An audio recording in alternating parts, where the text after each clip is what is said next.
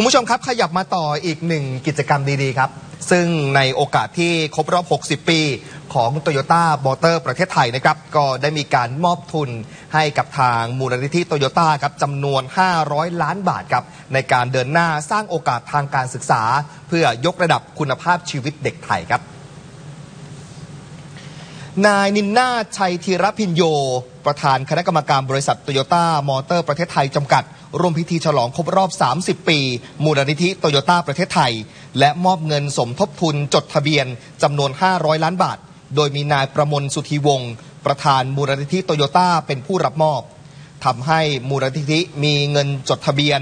รวมเป็น 900 ล้านบาท เพื่อนำไปสนับสนุนทุนการศึกษา และร่วมพัฒนาคุณภาพชีวิตของเด็กและเยาวชนที่ด้อยโอกาส ทั้งในด้านความเป็นอยู่ สภาพแวดล้อม และสุขอนามัย อันเป็นรากฐานการพัฒนาสังคมไทยที่ยั่งยืน เราก็จะได้เอาดอกผลจาก 900 ล้านบาทนี่ในการไปทำประโยชน์เพื่อสังคม